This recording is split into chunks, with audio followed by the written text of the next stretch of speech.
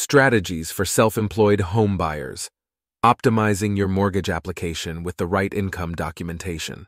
The journey to homeownership can be complex and nuanced, especially for self-employed individuals. Unlike traditional wage earners, self-employed borrowers face unique challenges when applying for a mortgage due to the nature of their income verification process. Mortgage underwriters scrutinize applications to assess the risk level of lending to a borrower. For self-employed individuals, the primary methods of income verification include tax returns and bank statement deposits. Understanding mortgage underwriting for self-employed borrowers. Mortgage underwriting is the process through which lenders assess the risk of lending money to a borrower. For self-employed individuals, this process is particularly critical because their income can be irregular and harder to predict compared to salaried employees. Underwriters look for stability, reliability, and the ability to maintain consistent income over time. Income verification through tax returns. Tax returns are the traditional method for verifying income for self-employed borrowers. This method requires the borrower to provide two years of personal and, if applicable, business tax returns. The underwriter will review these documents to determine the borrower's net income after deductions. The challenge with tax returns is that self-employed individuals often have numerous deductions that can significantly lower their taxable income. While beneficial for tax purposes, this can be detrimental when applying for a mortgage, as it may appear that the borrower earns less than they actually do, affecting their loan eligibility and the terms offered.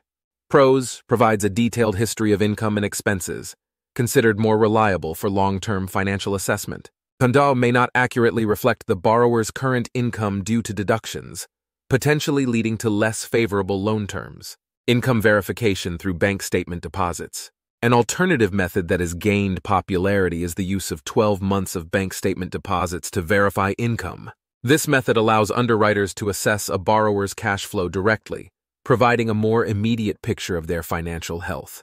By examining the deposits, underwriters can determine the borrower's gross income without the distortions of tax deductions. This can be particularly advantageous for borrowers who have a high volume of business expenses that do not necessarily reflect their actual cash flow. PROS offers a more accurate representation of current cash flow, potentially leading to better loan terms. Cons. Not all lenders accept bank statements, and those that do may require a higher interest rate due to perceived increased risk. Impact on interest rates. The method of income verification has a direct impact on the interest rate offered to self-employed borrowers. Generally, Loans that are considered higher risk are subject to higher interest rates. From a lender's perspective, the risk lies in the borrower's ability to maintain consistent income to meet mortgage obligations. Tax returns. If the income reported on tax returns is low due to deductions, the borrower may be seen as higher risk, leading to a higher interest rate.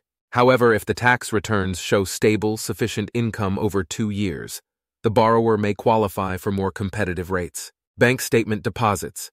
Using bank statements can sometimes result in a lower perceived risk if the deposits demonstrate strong, consistent cash flow. However, because this method is less traditional and perceived as non-conforming, some lenders may still offer higher interest rates to mitigate their risk. Strategies for self-employed borrowers. Self-employed borrowers should prepare meticulously to secure the best possible mortgage terms. Maintain impeccable financial records, whether using tax returns or bank statements. Clear and comprehensive financial documentation is crucial. Minimize deductions. While beneficial for reducing tax liabilities, excessive deductions can lower your qualifying income. Build a strong credit profile. A high credit score can offset some of the perceived risks associated with self-employment. Consider a larger down payment.